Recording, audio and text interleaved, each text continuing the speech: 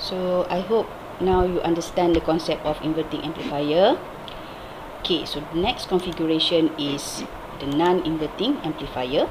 Okay, so for non-inverting, right, you can see that the input is given to the uh, non-inverting terminal. You can see here, eh, it's given to the non-inverting terminal. And this time, your inverting is directly connected to ground. So when that happens, it means that this node is zero volt. Okay, because it is grounded. Okay, so based on the two characteristics, the first one is we want this node here. Okay, it has to be equal. So because node 2 is directly connected to this voltage signal, which means that this is V1. Okay, which means that this node is this node is V1 alright? So this is Vi okay? And because these two has to be equal so node 1 here is also Vi right so the other property is there's no current going into your op amp okay? So the current here is zero right no current into your op amp. Okay. Now we use the same um, concept the same method. We do KCL okay? Alright so because we already know that there is no current into your op amp so we just proceed with the KCL I in is going in and I2 is going out okay? Um, it's okay if you assign in other direction as long as you standardize that if the current is into the node you make it positive and if the current is leaving the node you make it negative. So whatever direction you put in your circuit you will get the same answer. Okay? So uh, back to the uh, KCL equation just now. So again if you go back to the branch current equation okay? So remember this is 0 volt right? So this is 0 volt okay? So 0 minus v in. Okay so we already know that this is v in eh? The same um, the same voltage. So 0 minus v in over r1 okay so this is current i1 and same thing i bring my i2 over. So now i have v in minus v out. So this node is connected to v out over r2 okay so as I rearrange my equation okay and I end up having this simplified version. So I want to bring V out over V in. So I just bring V in over and multiply with R2 and I will get the voltage gain V out over V in equivalent to 1 plus R2 over R1 so you can see for the non-inverting the gain is positive right? Which means that if this is my input signal then the output signal will have the same phase lah the same shape. However again the amplitude it is amplified. The amplitude will be uh, increased right? So this is for non-inverting amplifier. Okay so let's do one example for non-inverting amplifier. So this question say that calculate the voltage gain given that R1 equivalent to 10 kilo ohm and R2 is 20 kilo ohm. And then the second question says determine the output voltage if the input voltage here is 0.8 volt. And then if a load resistor RL is connected at the output terminal, calculate the current IL. Okay. So this is the kind of question that can be asked uh, for you in exam. Eh? Okay, so at first glance you can definitely see that this is a non-inverting amplifier so for part 1 uh, for the first question you can straight away use the uh, equation here. Okay 1 plus r2 over r1 and therefore you can get the answer straight away. Okay so you can get av equivalent to 1 plus um, what is R2 just now? It's 20 over 10 so it's 2 it's 20 over 10 okay which means that you will get what is the answer the answer is 3 Okay, so the gain will be, the voltage gain is equivalent to 3. So this is the case if you can see the configuration straight away and you know that it is non-inverting. Okay, but of course if you are not sure, right, um, you can always go to the basic uh, KCL, nodal analysis basically. So as I have always said, if um, you want to do the derivation way, you need to remember the two characteristics. These two nodes must have the same voltage and there is no current into the op-amp. Okay. So based on that, we do the KCL here. Okay. So I1 minus I2 equivalent to 0. So just, uh, we know that this is 0. Okay. Now, um, if this is connected to the input um, voltage Vi so this node will also equivalent to Vi so you can see here this is 0 volt okay because this is grounded. So 0 minus Vi over R1 okay. So R1 is given as um, 10 okay. And then this node is the same with this value Vi Okay, so VI minus V out, this node VI minus V out over R2 is your I2. So what I have done here is I got I1 equivalent to I2. Okay, I bring I2 over to the other side basically. Right?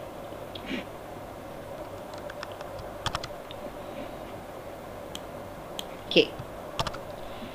So R2 is 20. Right. So if I rearrange, this one is 10. Then I have this um, 20. Okay. And I bring this V out over 20 over to the left hand side. Okay. I combine all my the VI on my right hand side. Then I factorize so I'm left with these values okay?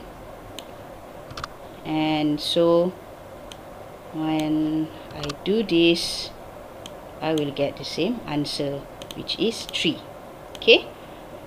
Um, so hopefully you don't have to start from scratch like this and you can identify the configuration straight away okay so it will save you uh, a lot of time okay So part number two is pretty simple because now you know the gain is 3.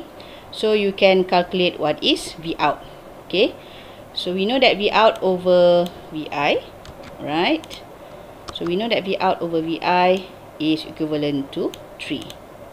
Okay. We know that the gain is 3. Okay, I'm to do this.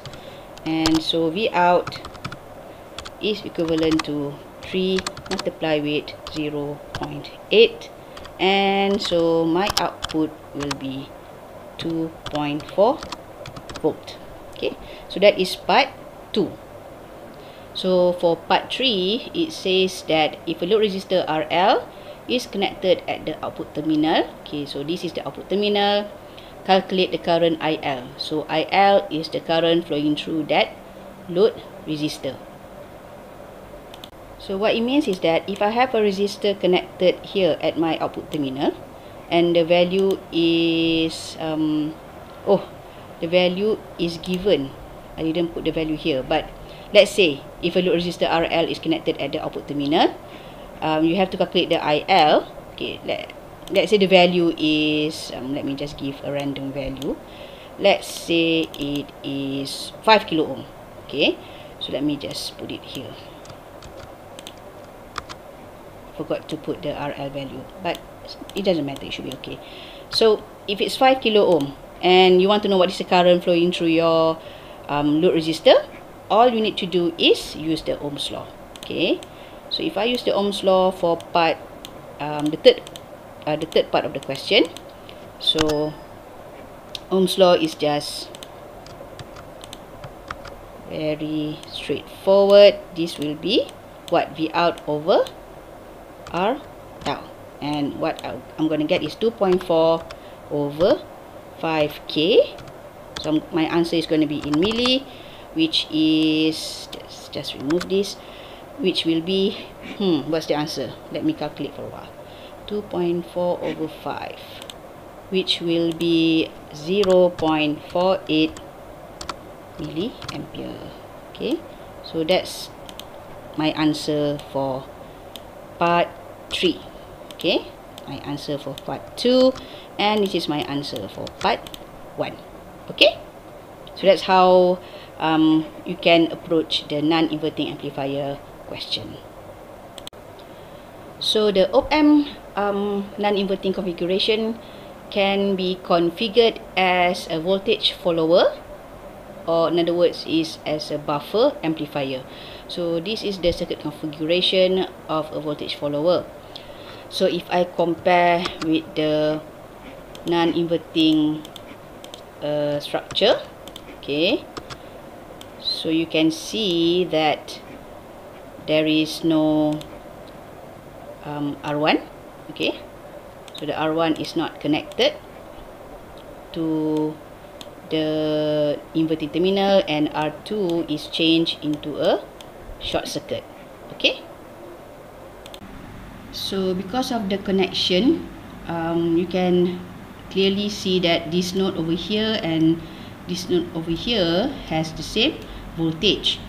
Okay. So the voltage is V out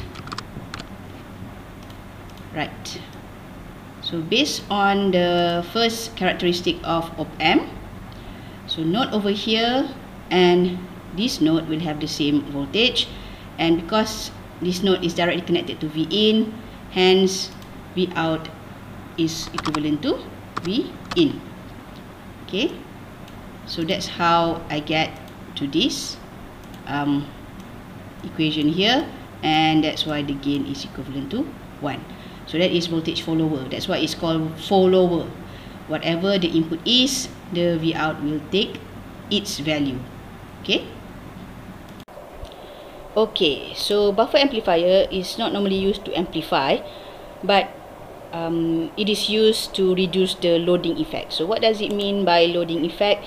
I can explain that um, by considering these two circuits. Okay, so you can see here there is an input signal of 10 volt connected with the resistance 5k. So similarly over here, same input signal with the same resistor. Okay, um, for circuit number one, you can see that the RL here is directly connected to your input signal. Okay. But for this circuit, so you can see that there is a buffer connected in between the load resistor and the input signal. Okay.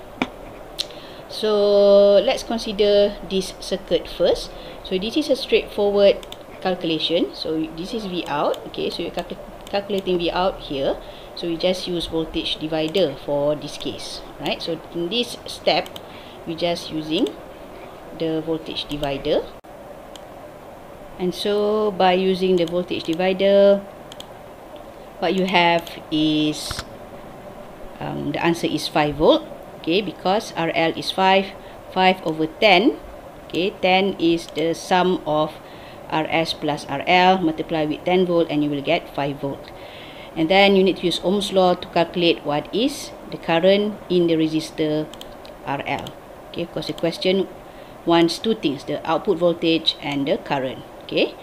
So 5 over 5 kilo ohm and you will get 1 milliampere okay so that is for circuit number 1 right. So now for circuit number 2 over here okay where you have a buffer in between the load and the input signal okay so the first property stated that the node over here okay must equal to the the node voltage over here must e be equal to the node voltage over um, the inverting terminal okay it has to be the same and the second property says that the current into the op-amp is zero okay so because um the current cannot flow into the op-amp so there is no voltage drop across your rs okay so because of that um, this node and the voltage supply vs will have the same uh, the same node basically because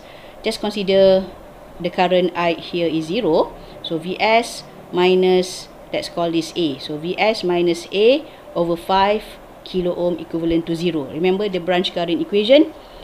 So when you do that, you will get the value at, at node A is your Vs. Right? And based on the first characteristic, because it has to be the same node voltage, so the same voltage will be seen here at the inverting terminal okay? So vs will be equivalent to v out because it is directly connected. As you can see here in the answer v out equivalent to 10 volt okay? Which is the value of vs. Then same thing you're going to use ohm's law to calculate the current flowing through your rl over here okay? And you will get 10 over 5 kilo ohm equivalent to 2 milliampere. Okay, so as I mentioned just now, the buffer amplifier is normally used to reduce the loading effect.